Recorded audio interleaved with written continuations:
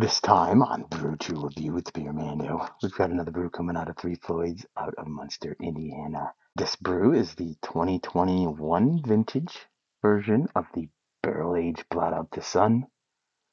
Our barrel aged version of Blot Out the Sun returns each December to coincide with the darkest days of the year. Spending over a year in bourbon barrels, the massive Imperial Stout extinguishes all light with notes of chocolate, molasses, and brown sugar, and whiskey notes from the barrel aging.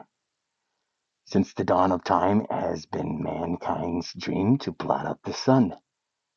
A quote by C. Montgomery Burns. This version comes in at 11.4% ABV with 97 IBUs. Let's get this one cracked open.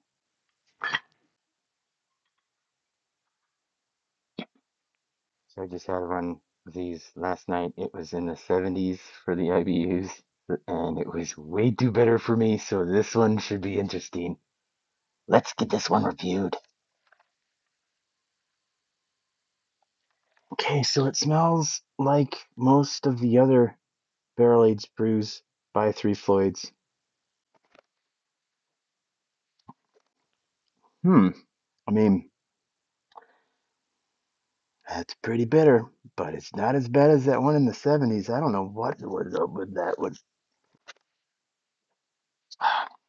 Very dark, roasty black, like out the sun. Um, blot out the sun. Um, it's not overwhelming though, not yet, anyways. Guess we'll see at here in just a little bit. Here we are after two of the 12 ounce cans. Um, this one's actually really good. It's a surprise. The 97 on the IBUs was the it was out.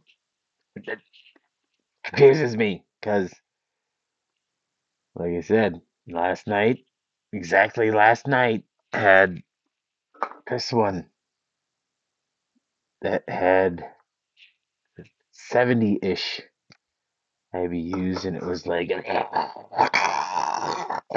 um, so yeah, this one's really good though. Um, uh, the only thing I would change about it is maybe make it a little slightly stronger, which is hilarious because the 2023 version is 13.4%. So I gotta keep my eye out for that one. So this one gets a 9 out of 10. If you like this type of video, give me a like and follow. Cheers.